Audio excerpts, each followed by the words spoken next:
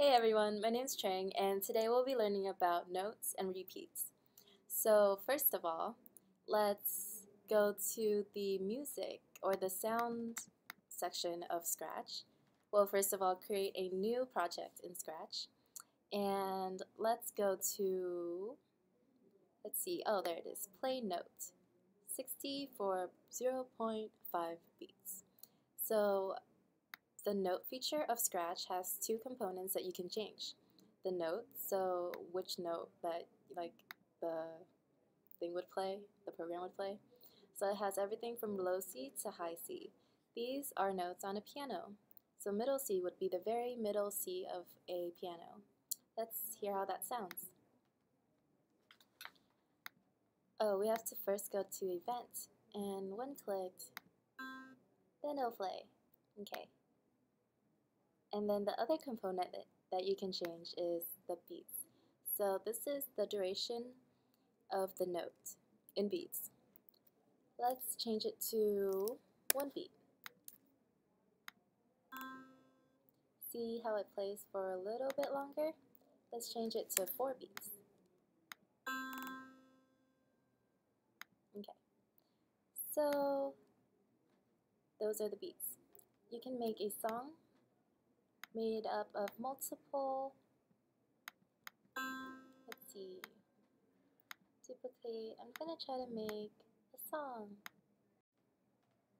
Alright, so I've created a little tune of the piano notes, all playing at 0.5 beats, so you can see what Scratch can do with music.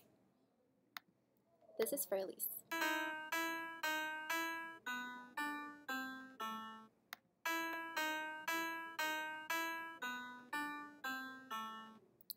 Alright, so now it's your turn to make your own tune.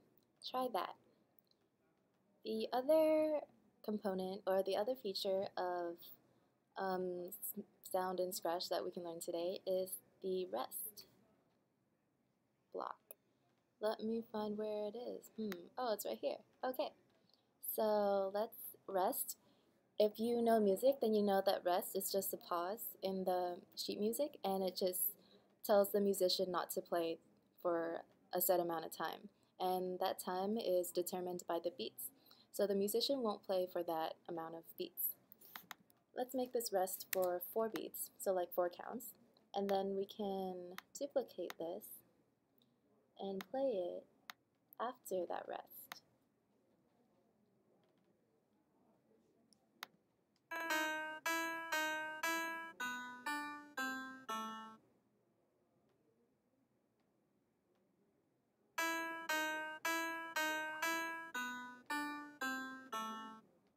Did you notice the pause between the two, um, I guess, chorus parts?